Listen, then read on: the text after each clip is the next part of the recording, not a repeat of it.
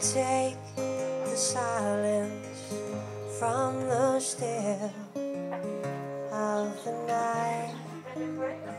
One of the terrific things about the community house is how it brings people together, all sorts, shapes, sizes, ages, nationalities, and it seems that everybody grows from that and everybody learns and enjoys and has fun.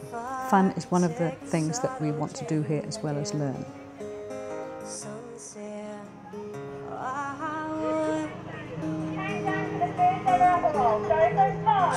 The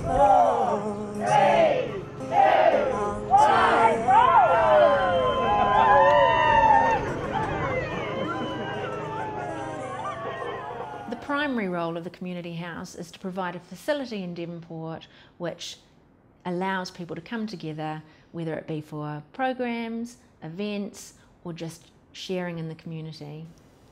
So, for some people who are new to the area, you know, it's quite hard to feel um, a, a sense of belonging and connection. So, that's how we can help. So, I think this is definitely something that Wendy Bailey first had in mind when she started the community house 30 years ago up at Kerr Street. I was brought up in England in a small village, and the village hall played a really prominent part in, in the life of the village. My aim was to develop a community facility for all ages of people, and uh, a few of us started, uh, had lots of meetings around my kitchen table. From then, we had public meetings and door to door canvassing for about two years. Good things like the community house don't come for nothing, and it's taken a huge amount of uh, work and resources from many people over many years, and it's people that have made it and continue to make it so successful. The role of the community house really is to provide a place where people can come and participate in different programs. We have lots of programs for children, things like soccer for tots, and lots of the classes actually are, are, more than just a class, they create a community to which people belong. Actually, we've just had a parenting course not long ago, and one of those people that attended came and told me, Thank you not only for running the parenting course, but that actually made a really good friend who's just across the street. And, you know, so it's those connections that you can't put a value on that are being made by people who attend programs and, and events here. The knitting group is a fantastic example of that.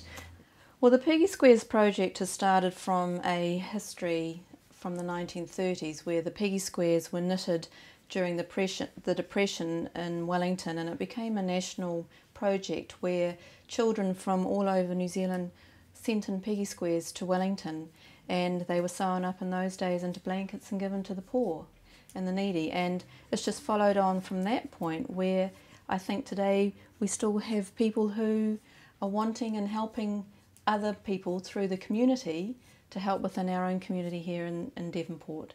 Uh, and also, along with that, is that last winter, a young woman who's a coordinator for Plunket uh, came and made a plea to a group of community um, people for blankets because young Plunket mums were wrapping their babies in tea towels.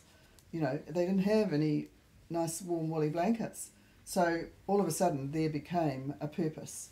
I think the reason I became involved, and especially with Lynn, um, Devonport's my community, and this is where I've lived for 20 plus years, and I'm very much, I love being involved in the community and helping the community. One thing that comes particularly to my mind is a young woman who had had a stroke. She ended up with a paralysed right arm and and a lot of cognitive language problems. And the tenaciousness of her was, you know, an amazing thing to watch because she struggled initially with the um, with the actual physical act of the knitting. But what we did also see and what she also found herself was huge benefits in her language skills being improved just by the fact that here was a group of people that she could sit around and talk to. It's, it's assisted her rehabilitation enormously. And if you'd seen her first square that she knitted, that it really looked quite ragged, whereas now she's knitting beautiful squares. It's, it's amazing to have seen. We're, really lucky here in that we have a number of volunteers too that come and, and add some life and vibrancy to the house and, and do some fantastic work for us.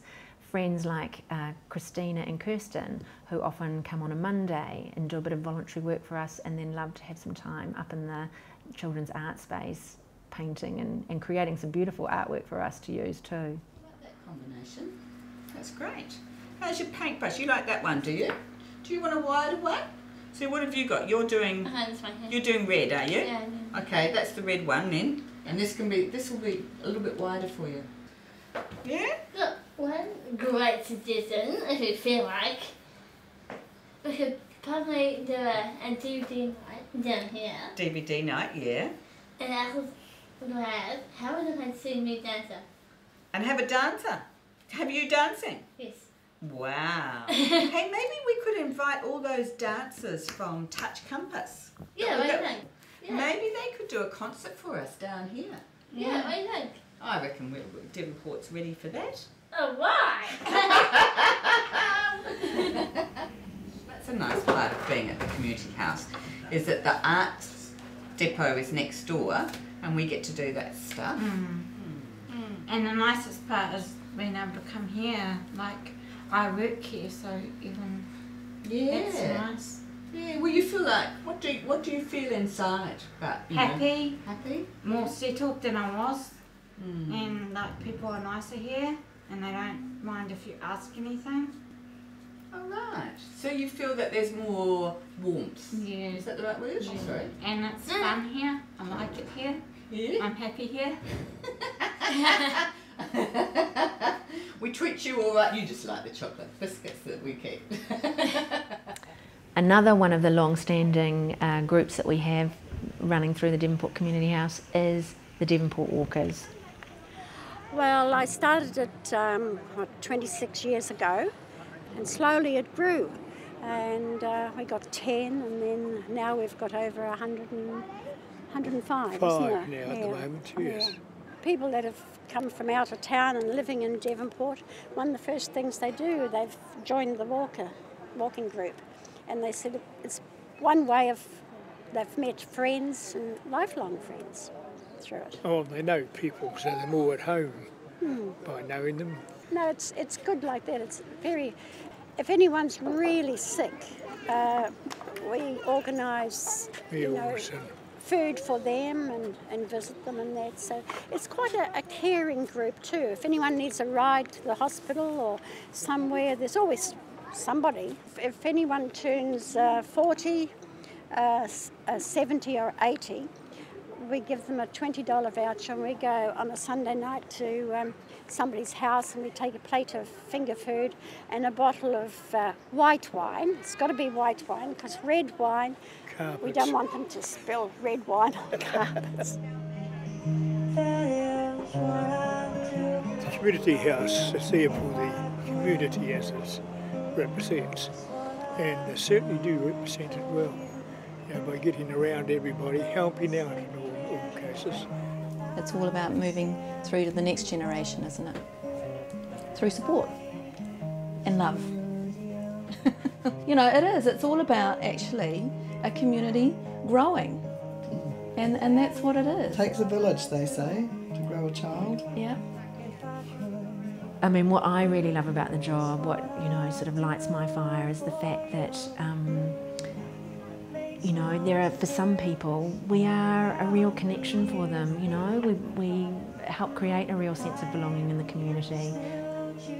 When I go to the community house now, it gives me huge pleasure to see all the kids' pictures around, all the, the activity, the noise, the, the humour, all sorts of different activities and all sorts of people enjoying things and it's uh, chocker and vibrant and it evolves, it evolves with what the community wants. It's exciting.